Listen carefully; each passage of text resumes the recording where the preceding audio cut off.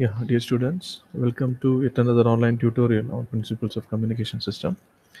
So uh, in this particular tutorial, we'll be discussing about noise equivalent bandwidth. For that discussion, I will be making use of uh, the two examples which we have solved in last class.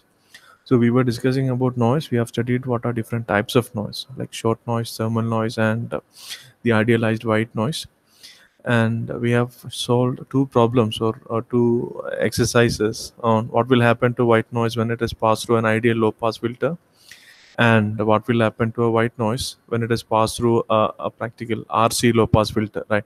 So we'll be making use of those two examples to discuss about the concept of noise equivalent bandwidth. So we'll just recollect what we have done in uh, the last session, right? So we have white noise, right? We have seen white noise. It has a power spectral density of n naught by 2 for all range of frequencies. And uh, its mean is equal to 0. So that's what we have. And when we pass this white noise through an ideal low pass filter, right, uh, if you represent the transfer function of that low pass filter as hi of f, right, so this hi of f will be defined from minus b to plus b, and uh, the value uh, will be equal to 1 right? So that is an ideal low pass filter. So when you pass this white noise with given power spectral density through an ideal low pass filter right we can see the output power spectral density s n of f. It will be equal to power spectral density of the white noise at the input times square of magnitude of this uh, h of f right? So we have seen that. And uh, if you integrate this uh, power spectral density right we will get the average power. So that's what we obtained it to be equal to n naught b. We have seen the output power is proportional to the bandwidth right? That inference again we have made. Then further what we did is we uh, know by einstein wiener Khinchin theorem the autocorrelation function as inverse fourier transform of power spectral density. So we evaluated the autocorrelation function of the uh, white noise filtered output, a white noise pass through an ideal low pass filter. So then we found it to be equal to N naught B sinc 2BT. These derivations we have done in detail in last class, so I'm not discussing those things, but I would like you to just recollect those results while because we'll be using it in today's discussion, right? So, and one more uh, aspect which you can uh, keep in mind is, right, we can either find out the average power by integrating the power spectral density or area under the power spectral density curve right or integrating power spectral density from minus infinity to infinity that is one way right? Or else if you observe this the autocorrelation function right the value of autocorrelation function at tau equal to 0 will be same as the average power. So you can compare this. Average power in this case is n naught b and uh, if you see the value of autocorrelation function for tau equal to 0 that if you substitute tau equal to 0 here sinc of 0 is 1 so it will be n naught b. So uh, in that way also we can evaluate average power. So uh, average power is either area under the power density curve or the value of autocorrelation function at tau equal to 0 so it's obvious right. So maybe the details of that it's beyond the scope of our syllabus so we are not discussing right but these results right i would appreciate if we can keep this in mind. Right further what we have done is we have uh, passed the same white noise through an rc low pass filter. Right rc low pass filter it has a transfer function 1 by j 2 pi frc right we have seen so it will be like this. Right unlike ideal low pass filter characteristics rc low pass filter uh, throughout it's actually uh, for different frequencies the magnitude of transfer function is different and at f is equal to 0 that is equal to 1 and it's actually what rolls off gradually as f increases either in positive or negative direction right? And we also know the 3 db bandwidth or half power bandwidth right? Or the cutoff frequency is 1 by 2 pi rc you already know that right? So um, what will happen if we transmit if we pass this white noise through this RC low pass filter. So the uh, standard result, so the output power spectral density will be input power spectral density times mode of h of square. So that will be equal to n naught by 2 by 1 by 2 pi frc square. So we have seen this in detail now. And further, by taking inverse Fourier transform of this, right, we got the autocorrelation function is equal to n naught by 4 rc times e power minus mode of tau by rc. So the graph will be, uh, it, it will look like this. It is actually what decaying exponential on both sides, on both positive and negative uh, time shifts, right? So uh, then further, we can find out the average power, right? So for that, we can use this uh, result which we, which we got just now. The average power will be equal to uh, autocorrelation value of autocorrelation function at uh, tau equal to 0. So that will be equal to n naught by 4rc. If you substitute tau equal to 0, this e power 0, it will be equal to 1. So average power will be the value of autocorrelation function at tau equal to 0. So this is the uh, output power. So in both the cases, output power are different, right? So and one what inference we can make from this is right. So from these two examples, we can come to a conclusion, right?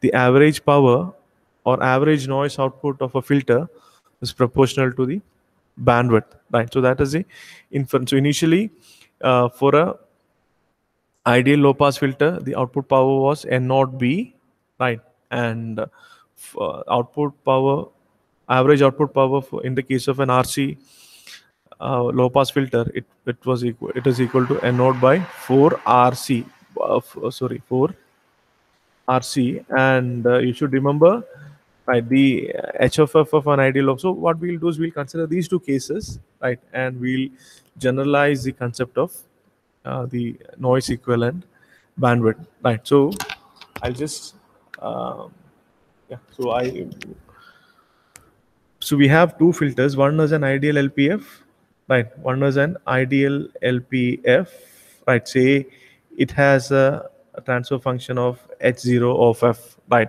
ideal lpf it has a transfer function of h0 of f. And we have uh, an arbitrary lpf right arbitrary low pass filter with transfer function h of f right. So this ideal lpf its transfer function will be like this.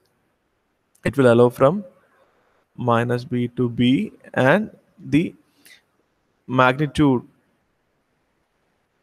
let it can write h0 of 0 throughout it can be 1 or any constant so uh, the magnitude will be constant throughout the range of frequencies uh, which it allows right so this is uh, is H0 of F and an arbitrary low pass filter, right? For an example, a typical example would be an RC low pass filter, right? So its transfer function will be something like this, right? Its transfer function will be something like this.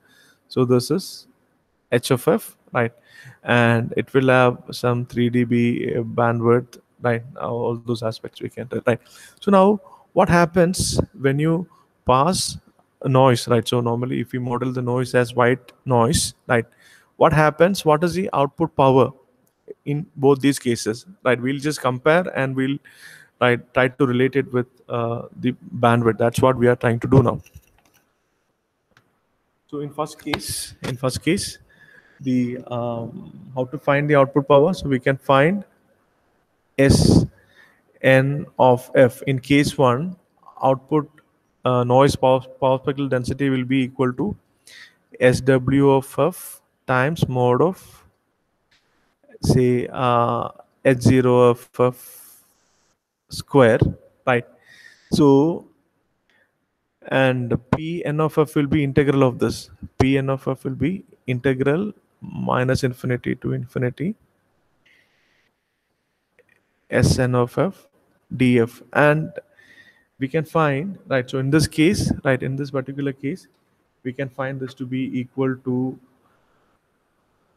right so we can find this to be equal to n naught b is the bandwidth and the value of h of f throughout this uh, pass band it is equal to h0 of f so square of that h0 of 0 square right so this will be the output or this h0 subscript is not required maybe you can write h0 of h of 0 square right that also would be fine so this is the output power in the case of an ideal low pass filter, right? In the case of a right, so a practical RC filter, right? Practical RC filter, Pn of f. So this is case one, ideal LPF.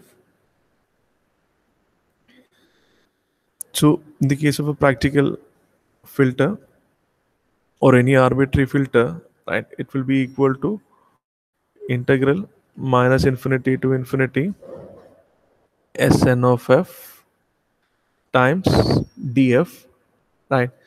So this will be equal to, so you can write n naught by 2 times integral minus infinity to infinity mod of h of f square df. So how it came, so in this case, in this practical case, Sn of f will be equal to, right, n naught by 2 times mod of h of f square. So when you integrate this n naught by 2 as a constant, you can take it out, right? So, and this integral will reduce to actually what? Yeah, so this integral, right, this is the, uh, will give this n naught by 2 times integral mod of h of f square df will give the total power. Suppose these two powers are equal, right? If an, a, a practical low pass filter or an arbitrary low pass filter gives same power as of that of an ideal low pass filter, so then when we equate these two, right? So then when we equate these two, um, we get n naught b h of 0 square. h of 0 is the uh, magnitude of ideal LPF transfer function. This is equal to n naught by 2 integral minus infinity to infinity mod of h of f square df. Right. So further we can rearrange it. Suppose this magnitude spectra of h of f, it is an even function of frequency, right? So we have considered it to be equal to symmetric about f, f equal to 0. So it's an even function of frequency. So then we can rewrite it to be equal to n naught by 2 integral minus, instead of this minus infinity to infinity, I can actually what, right? 0 to infinity, right? So, uh, and it will be twice of this, right?